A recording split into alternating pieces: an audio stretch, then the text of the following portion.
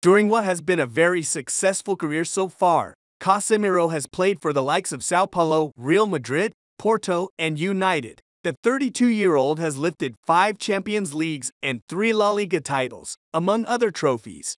Casemiro has also shared the pitch with some of the best players of the current generation, Cristiano Ronaldo, Karim Benzema, Sergio Ramos, and Luka Modric, to name a few. Internationally, the midfielder has collected 75 caps for Brazil, playing alongside Neymar, Philippe Coutinho, Roberto Firmino, and Thiago Silva during that time. But who does Casemiro think are the greatest three players of his generation? Alongside Ronaldo, he picked international teammate Neymar and his former fierce rival at Barcelona, Lionel Messi. In an interview with Brazilian magazine Placar last year, he explained his picks. I had the pleasure of seeing Messi, Cristiano Ronaldo, and Neymar, who are the three greatest of my generation. Lionel Messi made his mark. You can't deny it. He was always a rival with Barcelona and with Argentina. There was no way to escape it. But those who like football, like Messi, it was a pleasure playing against him. He is a guy who does not need a comment. You just have to admire him.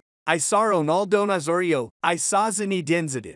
But without a doubt, these three are the best of my time. I never played against Cristiano, thank God. He gave me many titles and victories. Over the last couple of seasons, Casemiro has struggled to perform to the level that made him one of the best players in his position. During the summer transfer window, the Brazilian was linked with a big money move to the Saudi Professional League, but he stayed at United as nothing was able to materialize.